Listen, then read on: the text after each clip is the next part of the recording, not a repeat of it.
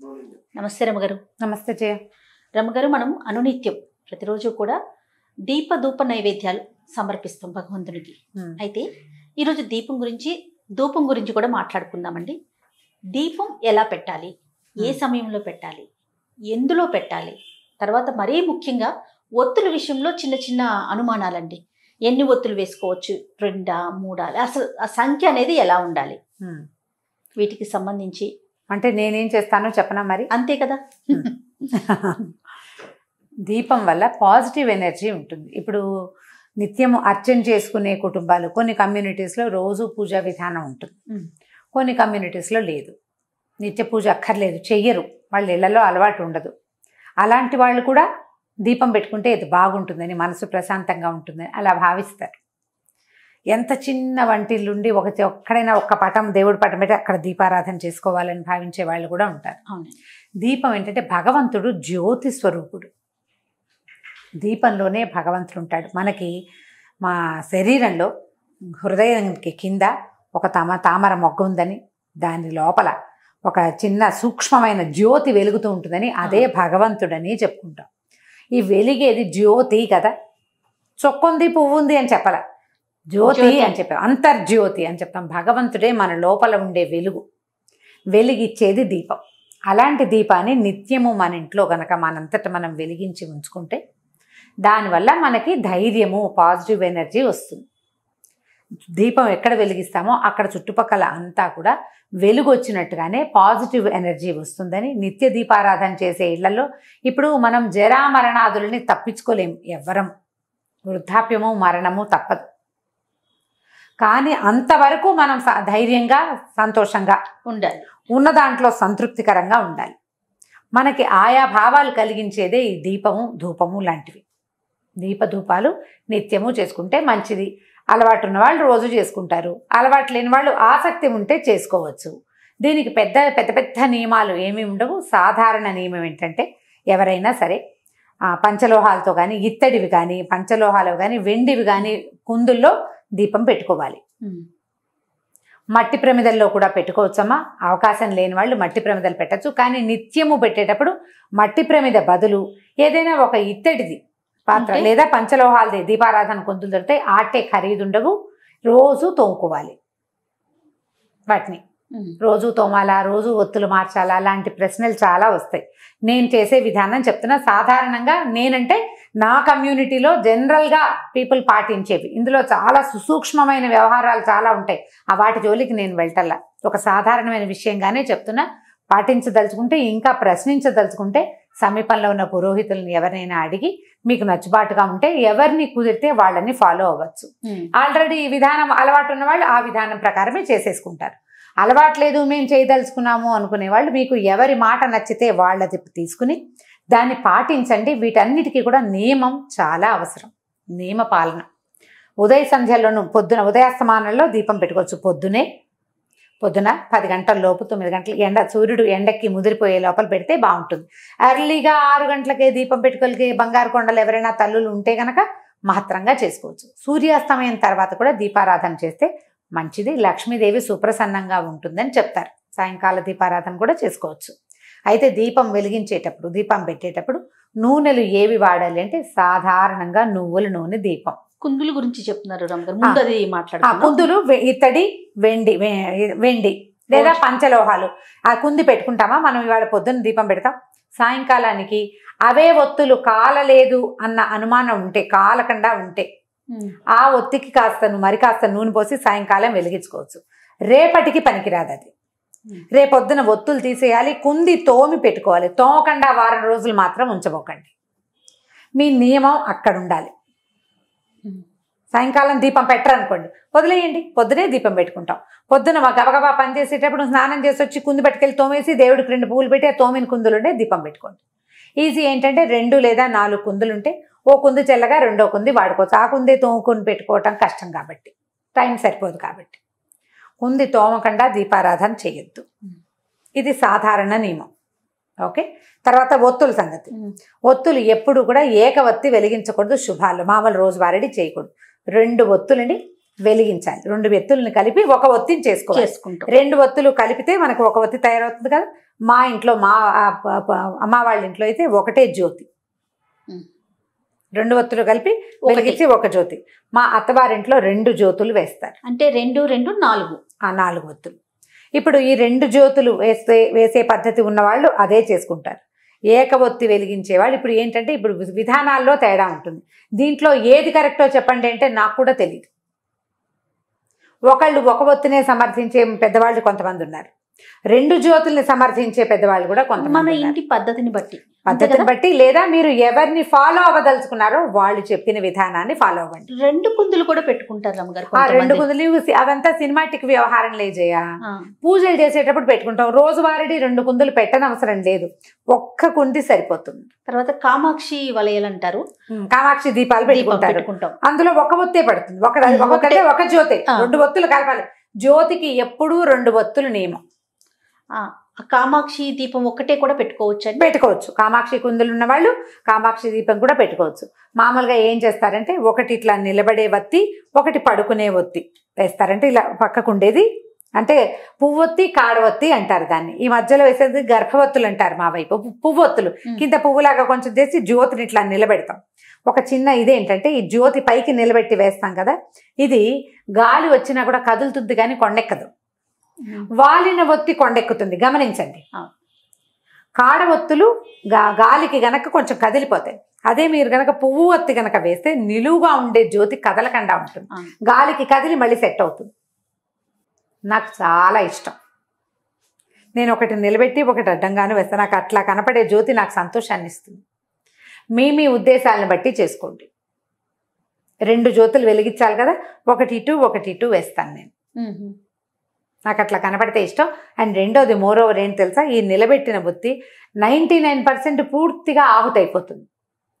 దీపంలో వేసిన ఒత్తి పూర్తిగా ఆహుతైతే చాలా మంచిదని నేను విన్నాను.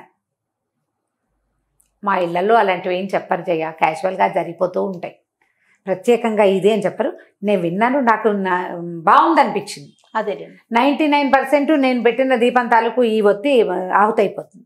ఒత్తి మొత్తం ఆహుతవటం కూడా మంచిదే. ఆహుతైతే చెడు లాంటిది ఏమి భావించకండి అది మంచిది. భగవంతుడు స్వీకరిస్తాడా లేదా కాదు. పూర్తి పాజిటివ్ ఎనర్జీ మన ఇంట్లోకి ఉందా లేదా అనేది. చక్కగా తోముకుని మళ్ళీ పెట్టుకోవటం. నూనెలు సాధారణంగా నువ్వుల నూనె. కొన్ని కొన్ని ప్రాంతాల్లో కొబ్బరి నూనె విస్తారంగా దొరుకుతుంది కొబ్బరి నూనె. నువ్వుల నూనె కొబ్బరి నూనె కాకుండా ఇంకా అవిసె నూనె పడతారు రకరకాల నూనెలు ఈ సందర్భానికి. ఇది అని చెప్తారు. నెయ్యి ముఖ్యమైనది ఆ ఆవు నెయ్యి ఏంటంటే పర్వదినాల్లో ఆవు నెయ్యి. కార్తీక మాసానికి ఆవు నెయ్యి. శ్రావణ శనివారాలు. శ్రావణ శనివారాలు కూడా చేసుకుంటారు. శ్రావణ శుక్రవారాలు చేస్తామా?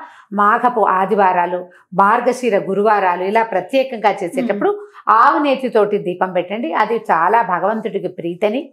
ఆవు నెయ్యి తర్వాత ఏమో ఆవు నెయ్యి కాలిన వాసన ఉంది కదా దానికి ఒక పొగ. వస్తుంది. ఇప్పుడు మనం దీపం పెడితే ఒట్టి దీపం అది నూనె ఆహుతవుతూ ఉంటుంది కదా దానివల్ల ఒక సన్నటి గంధం బయటికి వస్తుంది అది ఆరోగ్యానికి చాలా మంచిది. అది మన వాతావరణాన్ని శుభ్రం చేస్తుంది. ఇలా వాతావరణాన్ని శుభ్రం చేయగలిగే కెపాసిటీ ఉన్న నూనెలో ద బెస్ట్ నూనె నువ్వుల నూనె. వాతావరణాన్ని బాగు చేస్తుంది. అండ్ ప్రపంచంలో అత్యంత బెస్ట్ వాతావరణాన్ని శుభ్రం చేసే పొగ ఆవు నెయ్యి. ఇది ఇది. ఆవు నెయ్యి ఖరీదు ఎక్కువ నిత్యము చేసుకోలేకపోతాము పర్వదినాలకి ఆవు నెయ్యి పెట్టుకుని నిత్య దీపారాధనకి నూనె దీపారాధన నూనె అని దొరుకుతుంది. అందులో ఏవో కలుపుతారో చూసుకోండి. జాగ్రత్తగా తీసుకోవాలి ఇంకా. మా అక్కయ్య అయితే అంటే ఇందులో స్పెషల్గా చెప్పాలి. మా విద్యకయ్య మనం ఏది వంటకి వాడుకుంటామో నూనె మంచి నువ్వుల నూనె తెచ్చుకుని వాడుకుంటాం. అదే నూనెతో దీపం పెట్టాలి దీపానికి వేరే నూనె నేను తాను నేను వాడని నూనె నేను దేవుడికి ఎలా పెడతాను అంటుంటాను. మంచిది కదా. ఆలోచన? ఆ, ఆవిడ పప్పు నూనె తెచ్చుకుంటుంది అది నాలుగు వందల యాభై లీటర్ అయినా సరే అదే దేవుడికి దీపారాధన చేయాలి. ఇంకా సాధ్య సాధ్యాలను బట్టి మన ఓపిక అది. నేను ఉద్దేశం చెప్పాను. ఇది వాళ్ళ ఉద్దేశం. నెయ్యి కూడా వాడుకోవచ్చు. ఇది బెస్ట్. కొన్ని ప్రాంతాల్లో కొబ్బరి నూనె వాడతారు కొబ్బరి నూనె కూడా వాడుకోవచ్చు. దీపానికి సాయం ధూపం. ఇప్పుడు దీపంలో క్లారిటీ ఇచ్చేసినట్టేనే కదా నేను? అయితే దీపం ఎటువైపు పెట్టాలి? ఒకటి. అది. తూర్పు దీపం చాలా మంచిది అని చెప్తారు. తూర్పు వైపుకి పెట్టే దీపారాధన. తూర్పు పడమర ఉత్తరం మూడు మంచివే. దక్షిణానికి దీపం పెట్టకూడదు అనేది సాధారణ నియమం. అయితే దీపారాధన మనం దేవుడి దగ్గర కూర్చున్నాం. వెలిగిస్తామా? ఒత్తి ఈ జ్వాల దేవుడి వైపు ఉండాలా? మన వైపు ఉండాలా అని అడుగుతారు. దేవుడి వైపే ఉండాలి. మన వైపు ఉండకూడదు. దేవుడికి దీపారాధన. నువ్వు ఊదొత్తులు వెలిగిస్తావు. దేవుడికి చూపిస్తావా? నీకు చూపించుకుంటావా? భగవంతునికే కదా చూపిస్తా. హారతి భగవంతుడికి. దీపం కూడా అంతే. స్వామి వైపుకి తిరిగేలాగా పెట్టుకోండి. ఈ దీపారాధన కుందిని ఒట్టిగా ఇలా నేల మీద ఎప్పుడు పెట్టద్దు. కింద ఒక కింద ఇంకొక పాత్ర ఉండాలి. దాని మనం మట్టి ప్రమిద పెట్టుకుంటే పర్వదినాల్లో కూడా మట్టి దీపావళి రోజులప్పుడు పర్వ చేస్తామా? అప్పుడు ఒట్టి ప్రమిద పెట్టాం ప్రమిద పెడతాం. ప్రమిద మీద ప్రమిద పెడతాం. ఇక్కడ ఏంటంటే దీపారాధన కుందులకి కిందకి పళ్ళేలు ఉంచుకోండి. పళ్ళెం సాధ్యం అవ్వకపోతే ఒక ఆకైనా వేసి దాని మీద పెట్టాలి. నేల మీద పెట్టకూడదు. అయిపోయింది కదా. ఇప్పుడు ధూపం సంగతి చెప్తాం ఈ ధూపం ఏంటంటే దీపారాధనతో పాటు భగవంతుడికి మనం ఈ ధూపం కూడా ఇస్తే ధూపము ఇప్పుడు దీపం ఏమవుతుంది? ఎక్కడ ఉందో ఆ చుట్టుపక్కల కాంతి వస్తుంది ధూపం ఒక గాలి తెరస్తే ఇల్లంతా వాకిలంతా ధూపం వెళ్తూ. ఉంటుంది. దానివల్ల కూడా పాజిటివ్ ఎనర్జీ పెరుగుతుంది. సాయంకాలం వేళని మీరు దీపారాధన చేయలేకపోతారు. సాయంత్రం చీకటి పడ్డాక ఒకసారి కాళ్ళు చేతులు కడుక్కొని కాళ్ళు చేతులు కడుక్కొని మధ్యాహ్నం కనుక పడుకున్నా బాత్రూంలోకి వెళ్ళినా బట్టలు మార్చుకుంటే బాగుంటుంది. అది మీ మీ పద్ధతి మీరు ఆలోచించుకోండి. బట్టలు మార్చుకుని ఒక దే ఊదొత్తి వెలిగించి ఒక మాట దేవుడి దిగుడు ఎక్కడుందో అక్కడికి చూపించి తర్వాత ఇల్లంతా ఆ ఊదొత్తిని ఒకసారి చూపించి మళ్ళీ యథాస్థానంలోకి పెట్టేస్తే ఇలా చేసినా కూడా మంచి ఫలితం ఉంటుంది సత్ఫలితాలు లభిస్తాయి. ఎనర్జీ లెవెల్స్ పెరుగుతాయి. మన ఇంట్లో పాజిటివ్ ఎనర్జీ పెరుగుతుంది. మనం సాంబ్రాణి వేయగలిగితే మహత్తరంగా ఉంటుంది. లేదు మేము అగరబత్తులు వేయగలంటే అగరబత్తినైనా మన ఇంట్లో ఒకటి రెండు దేవతా ప్రతిమలు ఎక్కడున్నాయో అక్కడ చూపించుకుని ఒక మాట వాకిలి వైపు కూడా ఇది ఊదెత్తిని చూపించి ఓ పక్కన పెడితే మనకేంటంటే ఇంట్లోకి రాగానే ఒక కమ్మని వాసన వస్తుందా? ఉంటుంది. వాస కమ్మని వాసన వస్తుంది ఒక పాజిటివ్ ఎనర్జీ వస్తుంది. దేవతార్చన చేసిన సంతోషం ఉంటుంది. అండ్ మోర్ ఓవర్ నేను ప్రతిసారి చెప్పే నియమ పాలన ఇక్కడ ఉంటుంది. సాయంకాలం అయ్యేసరికి ఊదొత్తు వెలిగించాలి. సాయంత్రం అవ్వగానే ఏం చేస్తారు? చేయాలి లైట్ ఏం కానీ దండం పెట్టుకుని ముద్దులు పెట్టుకుంటుంటారు. దేవుడికి. అవునా కాదా? ఒక ముద్దు పెడతారు. భగవంతుడు తలుచుకుంటాం అనమాట వాళ్ళు ఇలా ఇలా అంటారు. ఒక ఒక ముద్దు పెట్టుకుంటారు ఒక దండం పెట్టుకుంటారు. ఎందుకంటే దీపం పెట్టంగానే దండం పెట్టుకోవాలి. దీపం మనం నూనె పోసి ముట్టించి కంగారు పడకుండా లైట్ వేసినా దీపం పెట్టినట్టే. సాయంకాలం దీపం పెట్టంగానే భగవంతుడి అయ్యా పొద్దునంతా మమ్మల్ని బతికుంచి ఉంచావు రాత్రి కూడా మమ్మల్ని ఇదే రకంగా క్షేమంగా ఉంచు. ఉంచునైనా అని చెప్పి ఆ దీపానికి నమస్కారం చేయటం. వీటిలలో మీకు ఏ విధానం బాగుంటే దాన్ని ఫాలో అవ్వండి. ప్రధానంగా భయాలు పడద్దమ్మా. ఉమ్. రెండు పెడితే ఏమవుతుంది మూడు పెడితే ఏదో అయిపోతుంది మూడు పెట్టాలేమో ఐదు పెట్టాలేమో అలా వెళ్ళకండి అంత కంగారు పడద్దు. నేను రెండే పెడతాను వాళ్ళ ఇంట్లో మూడు పెట్టారు ఎలాగా అనుకోవద్దు. మీ నియమం మీది. అంతే.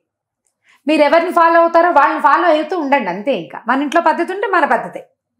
మన ఇంట్లో విధానాన్ని వదిలిపెట్టి రెండో విధానానికి ఎప్పుడూ వెళ్ళద్దు. ఎప్పుడు వెళ్ళకూడదు. మన ఇంట్లో ఒక విధానం ఉంటే ఇంకా దాన్నే పాటించాలి. కాదండి నాకు మూడు నాలుగు చోట్ల దీపాలు పెట్టుకుంటే ఇష్టం. మా అత్తగారు దేవుడి దగ్గరే పెట్టాలంటారు అని అడుగుతారు కొంతమంది. చాలామంది నేను చూశాను చేయ హాల్లో ఒక సాయిబాబా విగ్రహం ఉంటుంది అక్కడో దీపం. అక్కడి నుంచి వాకిట్లో గుమ్మం దగ్గర ఓ దీపం. దొడ్లో తులసి చెట్టు ఉంటుంది అక్కడో దీపం. ఇన్ని దీపాలు పెట్టుకోవాలి మీకు ఇష్టం. ఏ అమెరికావో వెళ్తారు? అక్కడ పెడతారా ఇవన్నీ? పెట్టలేకపోతారు. సాధ్యం కాదు. నేను పెడతాను నువ్వు ఎందుకు పెట్టమని కోడళ్ళని అడగకూడదు కూతుళ్ళకి చెప్పకూడదు. దేవ దీపారాధన భగవత్ సన్నిధిలో ఒక చోట చేస్తే సరిపోతుందమ్మా. ఇల్లంతా దీపాలు పెట్టుకోబోకండి వాటి వల్ల ప్రమాదాలు కూడా వస్తాయి. వాకిట్లో దీపము అవి మనకి నియమాలు ఉన్నాయి ఒక పద్ధతి చెప్పారు మనకి. అది ఎక్కడ చేయమన్నారు? సీత ఈ మన దీపావళి కాలంలో. అంతే. కార్తీక మాసం అంతా పెట్టండి వాకిట్లో దీపం అని చెప్పారా? తులసి దగ్గర దీపం పెట్టే అలవాటు మీ ఇంట్లో ఉంటే తులసి దగ్గర. చిన్న దీపారాధన పెట్టుకోండి. దేవతా సన్న అర్చన దగ్గర కాకుండా దేవత ఎక్కడైతే మన దే దిగుడు ఉంటుందో అక్కడ కాకుండా రెండోది తులసి దగ్గర పెట్టుకోవచ్చు. ఇంట్లో మీకు ఆ గదిలో ఈ గదిలో కూడా మనకి పర్వదినాల్లోనే పెట్టాలి. నిత్యము దీపాలు అన్ని చోట్ల పెట్టుకునే పద్ధతులు మీరు ఎక్కడైనా పుస్తకాల్లో చదివితే పెద్దవాళ్ళని అడిగి చేయనా అని మీ ఇంట్లో పెద్దవాళ్ళు ఎవరు? ఒకటి అమ్మ లేకపోతే అత్తగారు. లేకపోతే అత్తగారి అమ్మ మన అమ్మమ్మ. ఎవరుంటే వారు వాళ్ళని అడిగి తెలుసుకుని చేసుకోండి. అలానే రమ్మగారు. నమస్తే. నమస్తే జయ.